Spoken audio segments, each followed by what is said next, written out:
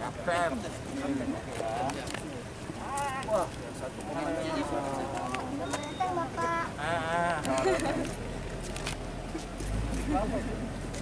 Foto foto, foto.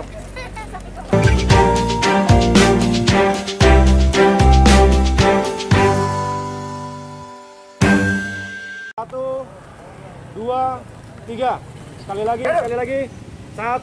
Mayor Jenderal. TNI Irwansyah bersama dengan Kepala Kelompok Staf Ahli Pangdam Brigjen John Sihombing dan Rem 033 WP Brigjen TNI Hartnoto, Asintel Kasdam 1 Bukit Barisan, serta Asops Kasdam 1 Bukit Barisan dan sejumlah pejabat utama Kodam 1 Bukit Barisan melaksanakan kunjungan kerja ke Makodim 0317 Tanjung Balai Karimun serta dilanjutkan menuju Yonif 134 Tua Sakti yang terletak di Pasir Panjang, Meral, Kabupaten Karimun, Provinsi Kepulauan Riau, Rabu 19 Agustus 2020.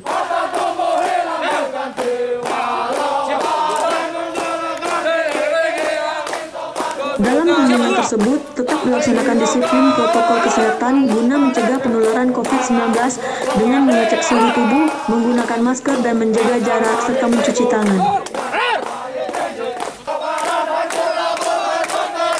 Kunjungan kerja Pangdam Satu Bukit Barisan beserta rombongan disambut langsung Komandan Kodim Letkol Infanteri Bemi beserta prajurit, PNS, dan Persit Kodim 0317 Tanjung Balai Karimun.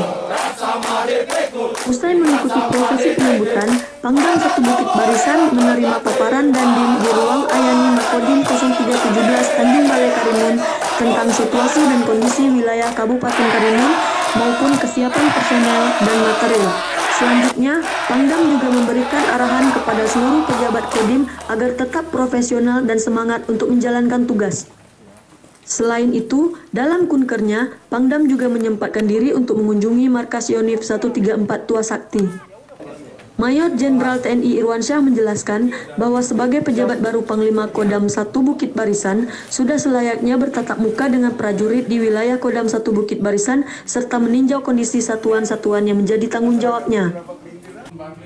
Selain bertemu dengan prajurit, Pangdam 1 Bukit Barisan juga bersilaturahmi dengan Forkompimda Kabupaten Karimun serta stakeholder terkait lainnya dalam penugasan Pangdam maupun jajaran TNI Angkatan Darat yang bertujuan untuk mempererat hubungan yang lebih baik serta membangun sinergitas yang kuat.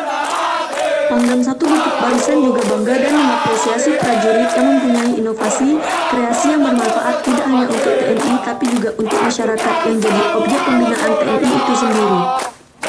Dirinya mengaku siap menerapkan inovasi yang diciptakan jajaran Kodim 0317 Tanjung Balai Karimun.